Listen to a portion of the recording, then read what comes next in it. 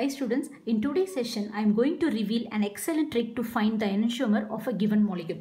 It will be helpful in solving these kind of problems. See a set of uh, options will be given and you have to find out uh, a proper enantiomer for the given structure. Okay, so let's get started. So before, what is an enantiomer? Enantiomer, first I will uh, read out, then I will explain. Okay, uh, what are enantiomers? Enantiomers are chiral molecules that are non-superimposable mirror images of one another. Okay, I will tell you what are chiral molecules and what are non-superimposable mirror images.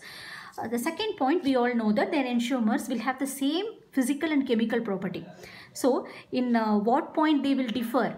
They will rotate the plane polarized light in opposite direction. The magnitude will be same, but they will rotate in opposite direction. Okay. So, first of all, what is chiral molecule?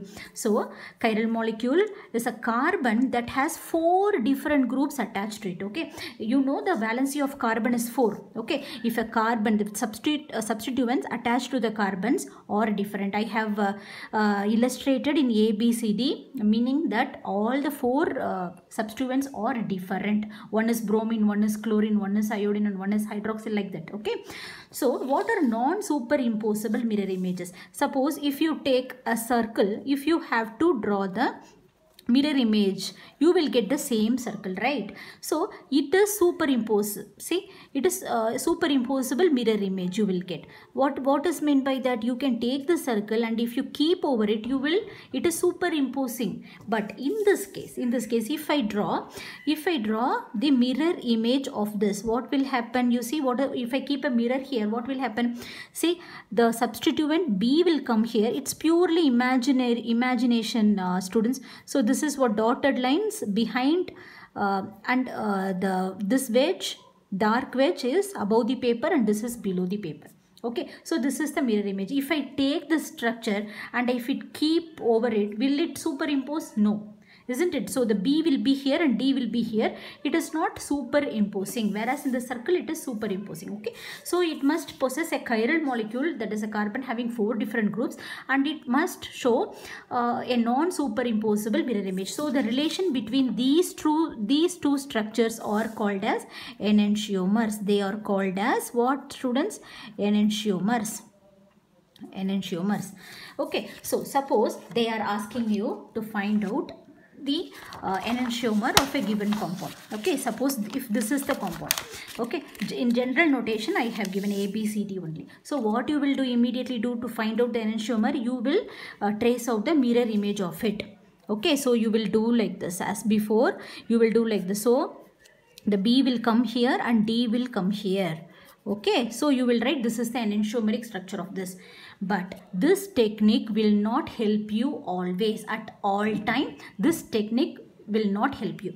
So i am going to reveal an excellent trick okay whereby you will not miss this question. You will never go wrong if you follow this trick okay. So follow me.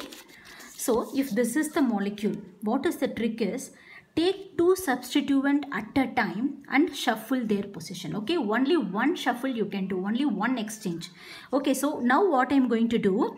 Keeping d and c at their position itself okay? D and d and c i'm going to keep in their position. I'm going to shuffle only a and b. B will go to a's place and okay shuffle between a and b okay so now the relation between these two is enantiomer. Okay. Now what I'm going to do? Now keep so any two any two molecules at a time. Only uh, only one change you can do. Only one shuffle. So c and b i have shuffled here. What i'm going to do? Now now opposite also. It actually this is we are showing in two dimension in three dimension tetrahedron you know all the bond angles are same all the bond angles are same even between a and c is also 108 28 minutes okay? So what i'm going to do keeping d and b constant in their position intact i am going to change the position of a and c okay? So now here what i'm going to do a and uh, shall we change the position? You tell me okay? So c d okay? Changed keeping a and b okay? I in all these things I have changed only uh, one uh, sorry I have did only one shuffle. Okay? One two substituents at a time i have exchanged their position. Okay? Now if the if it rotates the plane polarized uh, light in uh, clockwise direction all these molecules will be in opposite direction. By convention by convention. So if i represent it as okay structure 1 okay and this is 2 and this is what 3 and this is 4 and this is 5 I can say 2 comma 3 comma 4 comma 5 all are okay? If this is clockwise all are anti-clockwise. And if you have a model you can check they all are same structures only. These are different methods in two dimension. Okay they are same only actually. So one more point. If you do one more change if you do one more change okay that is not a that structure. If I do one more change already I changed the position of A and uh, uh, what I did I changed the position of B and C right? Now if I do one more change if I do one more change okay.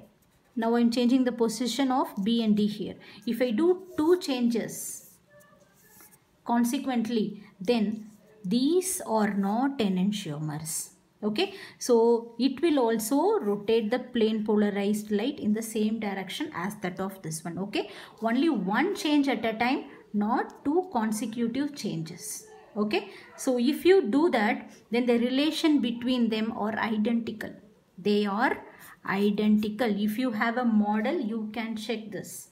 Okay? And 2 3 4 5 okay they are also identical. If you have a model you can check this.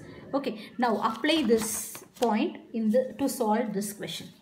Okay which of the following structures they have given a certain uh, uh, options?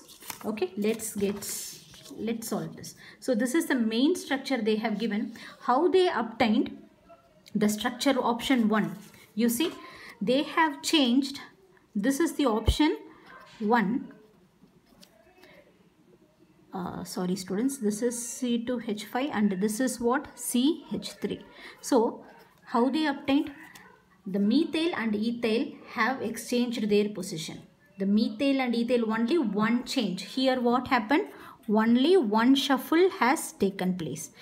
This option 2 this is option 2 how they obtained? You see this has been obtained via two changes. You see first the methyl and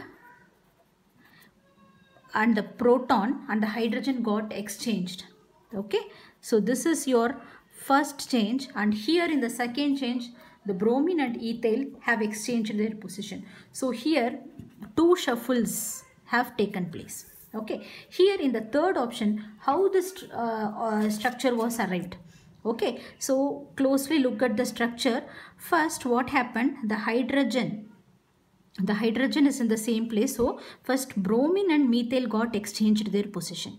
So bromine here and methyl here and C2H5 then what happened? The methyl and ethyl has exchanged their position to come to this structure. So here also two changes.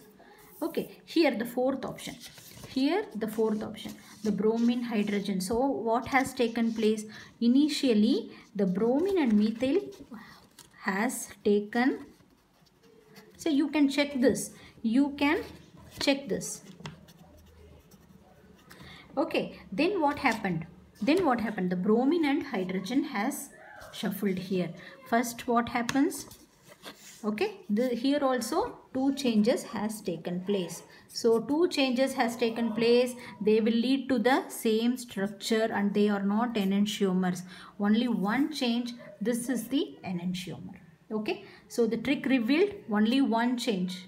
Okay one shuffle you have to check at a time okay so students hope this video helped you you learned something i guess okay if you liked the video please like share and comment your opinion. Thank you.